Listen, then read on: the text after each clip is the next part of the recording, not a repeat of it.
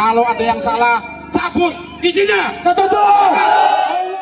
Kerahkan pasukan anjing herder kuatkan pertahanan.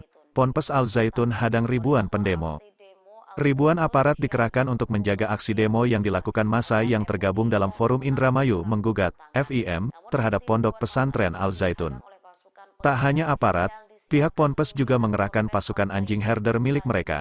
Masa pendemo menuntut agar dugaan aliran sesat di Ponpes Al Zaitun diusut tuntas. Koordinator aksi demo Al Zaitun, Syahid Muhlisin mendesak agar MUI dan Kemenak segera turun tangan. MUI dan Kemenak harus mengusut tuntas soal dugaan ajaran sesat karena lembaga itu yang memiliki kewenangan.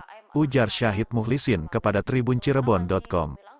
Namun, aksi ribuan masa ini dihadang oleh pasukan pengadang yang disiapkan pimpinan Ponpes Al Zaitun, Panji Gumilang.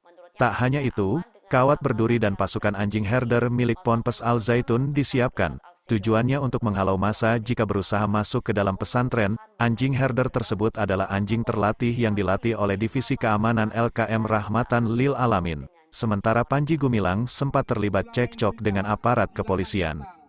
Panji meminta agar polisi seharusnya berjaga di luar saja. Polisi harusnya berjaga saja di luar. Amankan saja yang hari ini mau mendemo, ujar Syekh Panji Gumilang.